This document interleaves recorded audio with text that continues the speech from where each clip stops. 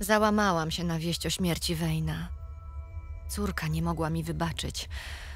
Modliłam się o opuszczenie tego świata. I moje modły zostały wysłuchane. Matka Namtaru zabrała mnie do siebie i tam, w krainie duchów, ukoiła moją duszę.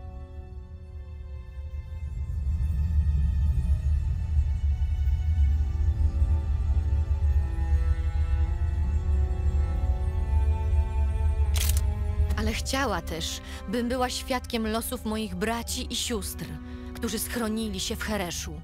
Widziałam wszystko, co zdarzyło się podczas mojej trzydziestoletniej drzemki. Jakbym była nigdzie i wszędzie zarazem. Bezsilnie patrzyłam, jak usiłowali odbudować dom od podstaw. Mając w sercach wciąż żywy obraz naszego wielkiego i zniszczonego Albetyl.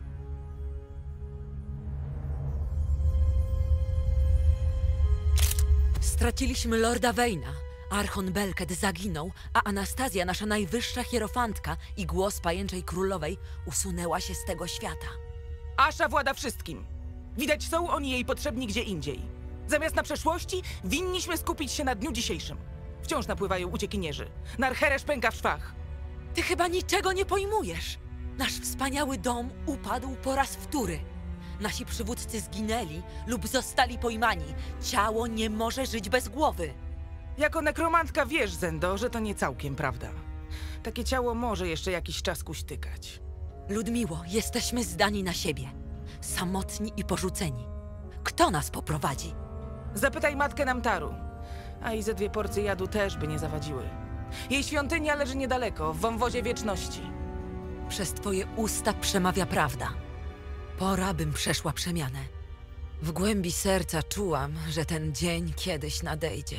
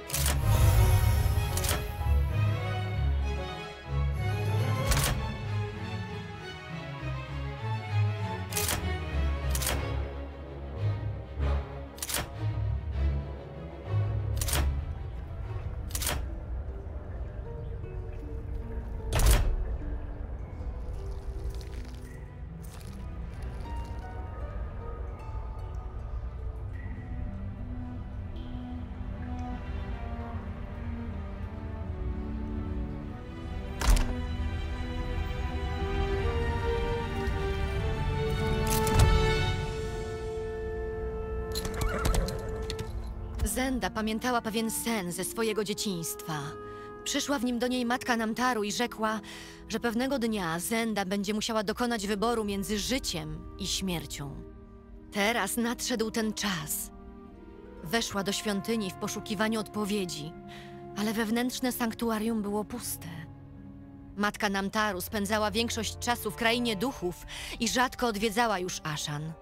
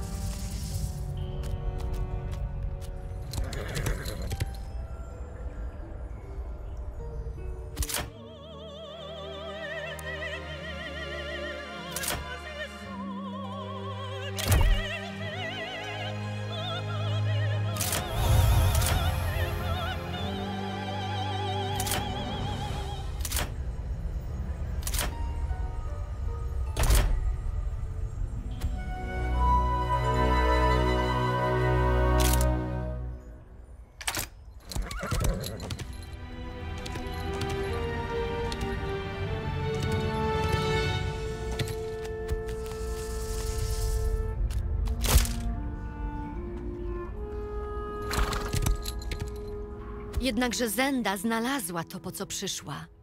Znak. Jad matki Namtaru. Najwyraźniej zostawiony dla tego, kto chciałby go użyć. Zenda wiedziała, że oto nadszedł jej czas.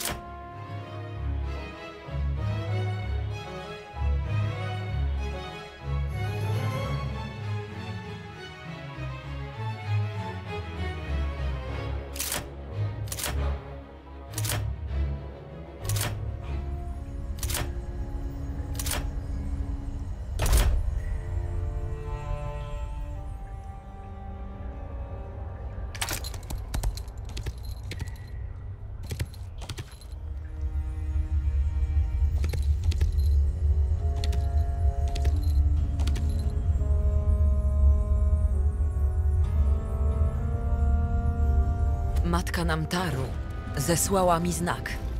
Przyszła pora, bym w pełni zanurzyła się w śmierci i została wampirem. Ceremonia twego odrodzenia była zaiste wiekopomna. Wypiłaś jad samej matki Namtaru. Ludzie zwoł cię teraz dziedziczką Anastazji i uważają, że przemawia przez ciebie sama matka Namtaru. I nie mylą się. Ktoś musi wskazać im drogę. A cóż to za droga? Droga śmierci. Muszę ich zebrać i pocieszyć. Niczym zagubione owieczki błąkają się w ciemnej dolinie.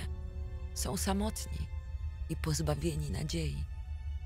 Narcheresz już jest przeludniony. Miasto wymaga rozbudowy. Jeśli chcesz sprowadzić całe statko do domu, będziemy potrzebowali większej owczarni.